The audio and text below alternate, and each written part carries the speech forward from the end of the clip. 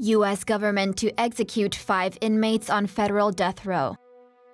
The U.S. federal government has ordered the reinstatement of the death penalty for the first time in over 16 years. CNN reports that U.S. Attorney General William Barr has directed the Bureau of Prisons to schedule the execution of five inmates convicted of violent crimes against children and the elderly. The men will be executed in December 2019 and January 2020 at the federal penitentiary in Terre Haute, Indiana.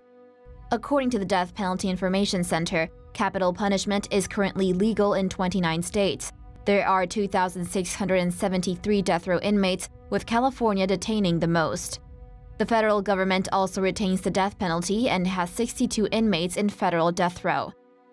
So far, though, only three federal inmates have been put to death since the reinstatement of the death penalty in 1988. The most recent was in 2003, when Louis Jones was executed for the 1995 kidnapping and murder of 19-year-old Army Private Tracy McBride. Per Barr's direction, the three-drug procedure previously used in federal executions will be replaced with a single drug, pentobarbital.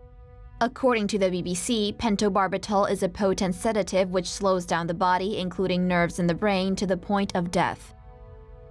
The New York Times reports while public support for a death penalty has been dwindling, President Trump has long been a supporter of it, even declaring last year that drug dealers should be put to death.